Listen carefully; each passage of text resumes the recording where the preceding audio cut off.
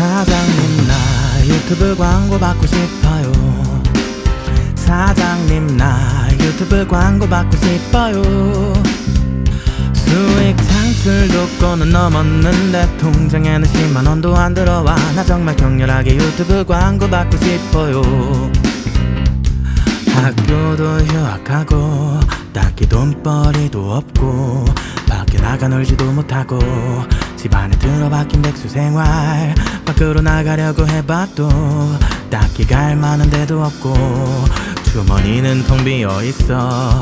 어디 갈 수도 없네. 이번 달 100달러를 못 넘고 통장엔 아무것도 들어오지 않았어. 유튜브 프리미엄 결제가 밀려서 광고가 끝없이 보이네.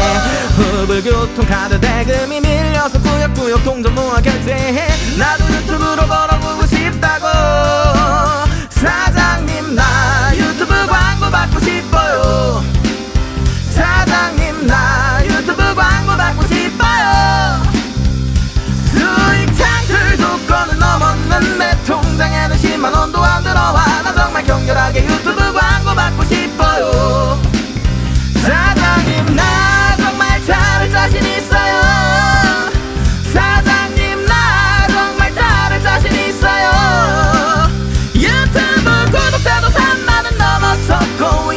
노래들도 금방금방 만들 수 있어요 언제 한번 꼭 연락 주세요